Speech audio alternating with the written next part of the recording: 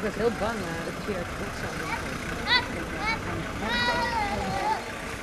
Hoe kwam het dat ik aan permacultuur kwam? Dat is het idee. Oké. Dat uh, begon eigenlijk op 1 oktober. Toen kreeg ik een heel teleurgesteld kind thuis. Die had meegedaan aan de demonstratie tegen de anti-kraakwet. De manier waarop ze toen behandeld is en hoe teleurgesteld ze toen was. Ja, ik voel nog eigenlijk de pijn in mijn hart over hoe je dochter dan is. Ik zag gewoon uh, mensen die uh, heel vredig een demonstratie uh, meeliepen. En ja, de, de mensen mochten niet meer vooruit en ze mochten niet meer achteruit. Dus ze werden weggedreven. De manier waarop mochten niet van wie? Van uh, ja, de politie. De, de, nou, in ieder geval, of het nou politie was of ME of stille, ik weet het niet.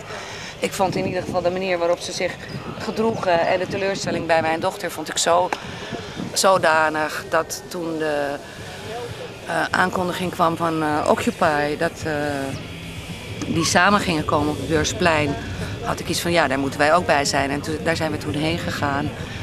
En als, ja, er was een beetje een hippie sfeer. Maar wat er ook gebeurde, meteen de eerste week daarna, was dat er een groep ontstond die het uh, bankensysteem, het monetaire systeem, hoe de economie in elkaar zit, ging kijken wat daar nou mis was. En dat was voor mij eigenlijk het eerste moment dat ik. Uh,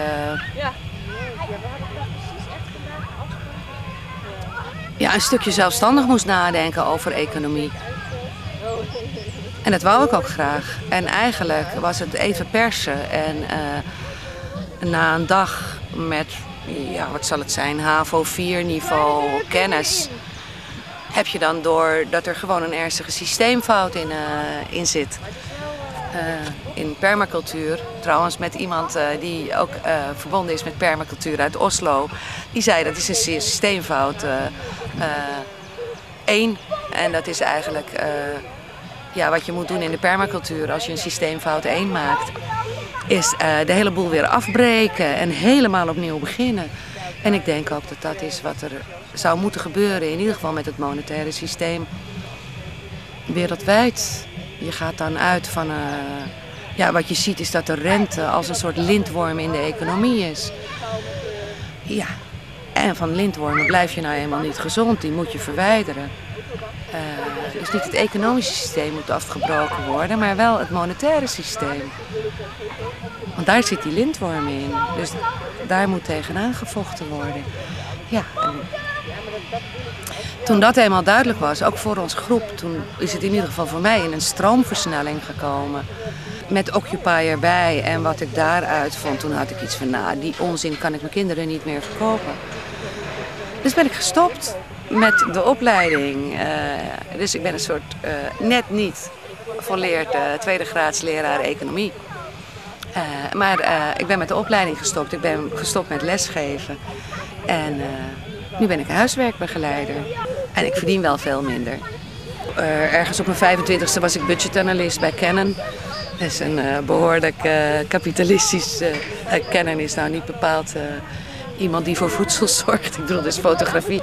Die hebben een deel military products, is er nu een onderdeel. het is belangrijk, ja, militaire producten is een onderdeel van Canon. Vroeger was er nog algemene economie in Nederland. Dat vak wordt niet meer gegeven. Dat is nu management en organisatie.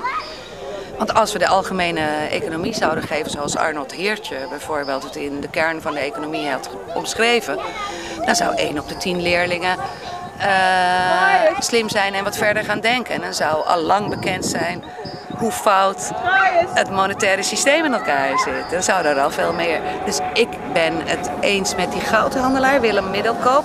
Je zou er bijna wat van denken dat in Nederland dat vak algemene economie is afgeschaft. Ik denk daar ook wat van. En, ik denk uh... dat dat expres is. Je hebt natuurlijk ook waarden die zo groot zijn dat je ze niet in geld kan uitdrukken. De glimlach van een verstandelijk gehandicapte, die is te waardevol om in geld uit te drukken. Die mag je niet in geld uitdrukken. De liefde van ouders voor kinderen en terug, die druk je niet in geld uit. Precies. Maar, en dat kan een gemeenschap ook voor zichzelf bepalen. Van wat drukken we wel en wat drukken we niet in geld uit. Want juist de ene gemeenschap zal minder behoefte hebben om dingen om te zetten. De een zal uh, het bakken van een brood, dat is een basis iets, zal zeggen dat drukken we niet in geld uit. En een ander heeft iets van nou, dat wil ik wel in geld uitgedrukt hebben. Ik denk dat bij elke recht een plicht hoort.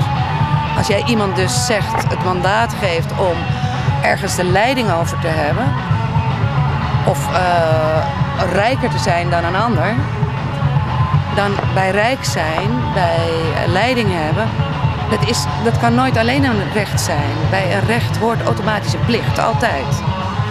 Als ik recht wil hebben op vrijheid, dan heb ik de plicht om diezelfde vrijheid te waarborgen voor de mensen om me heen. En dat is uit de maatschappij weg. En ik denk dat dat er weer in hoort. En ik denk dat we daarvoor weer naar de natuur kunnen kijken. En dan kom je weer terug bij permacultuur.